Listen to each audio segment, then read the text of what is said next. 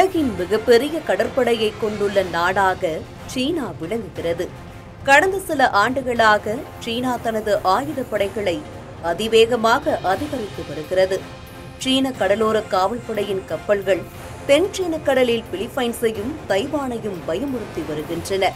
மேலும் கடந்த நான்கு ஆண்டுகளில் சீனா நூற்றுக்கணக்கான போர் விமானங்களையும் குண்டுவீச்சு விமானங்களையும் தாங்கிய கப்பல்களை இந்திய பசிபிக் கடல் பிராந்தியத்தில் நிறுத்தியுள்ளது.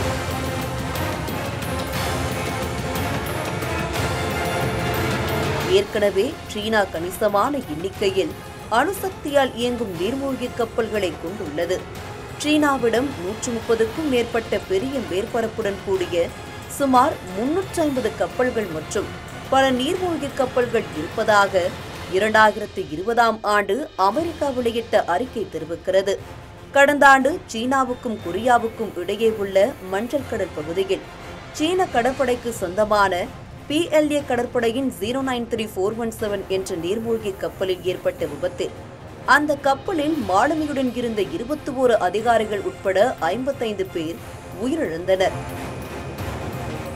பிரிட்டனின் ரகசிய அறிக்கையில் சீன நீர்மூழ்கி கப்பலின் ஆக்சிஜன் கருவிகளில் ஏற்பட்ட பேரழிவு காரணமாக சீன நீர்மூழ்கி கப்பலில் இருந்த கடற்படையினர் இறந்ததாக தெரிவித்தது. இந்த விபத்தை அதிகாரப்பூர்வமாக மறுத்த சீனா விபத்துக்குள்ளான நீர்மூழ்கி கப்பலை காப்பாற்ற சர்வதேச உதவியையும் மறுத்தது.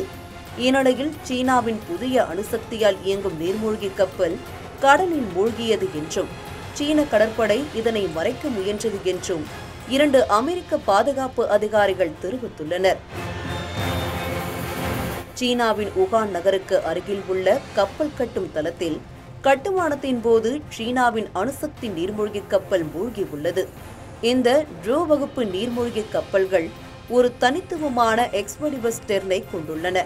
இது நீருக்கடியில் சூழ்ச்சித்திறனை மேம்படுத்த பிரத்யேகமாக வடிவமைக்கப்பட்டுள்ள கப்பலாகும்.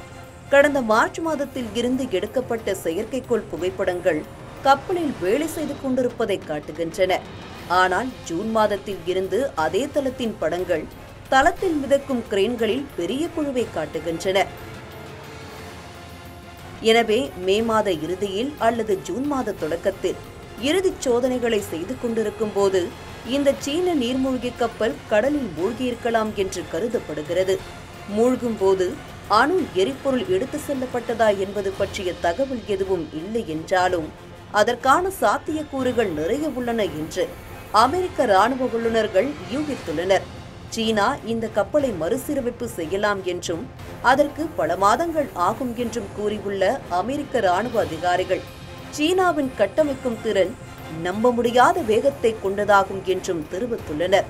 தனது விரைவான விரிவாக்க பணிகளால் மேற்கு நாடுகளை அச்சுறுத்தி வரும் சீன ராணுவத்திற்கு முதல் தர அணுசக்தி நீர்மூழ்கி கப்பலான ஜோ வகுப்பு நீர்மூழ்கி கப்பல் மூழ்கியது. பெரிய அவமானம் என்பதில் ஐயமில்லை.